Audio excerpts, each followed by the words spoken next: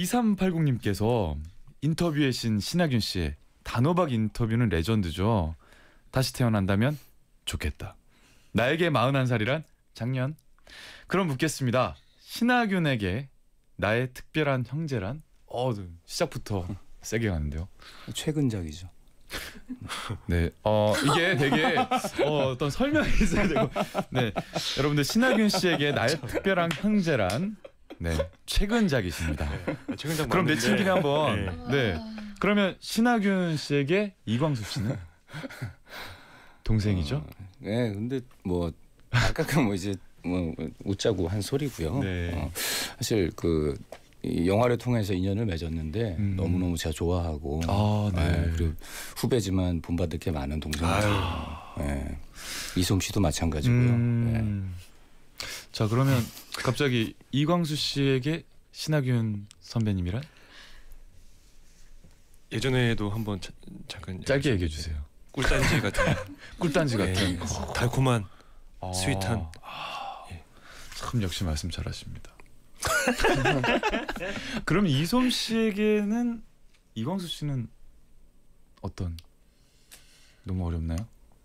어, 기대가 되네요. 아까 괜찮고. 네, 좋은 배우. 좋은 배우 네.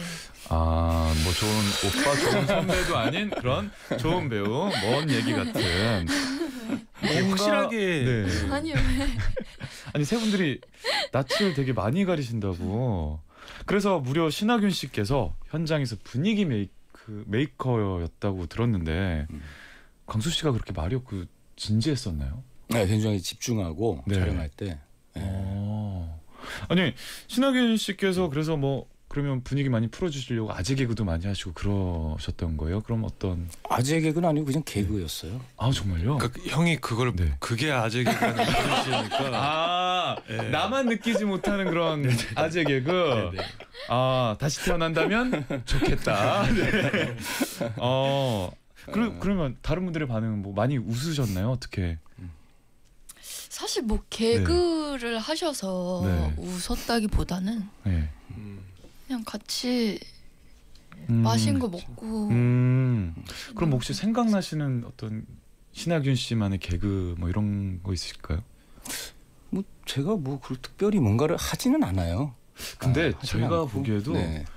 그냥 뭐 다시 태어난다면 좋겠다. 아 이거만으로 음. 이제 빵빵 터지는 것 같아요. 음, 그거밖에 없잖아요. 다른 거 없잖아요. 나에게 많은 살이란 작년.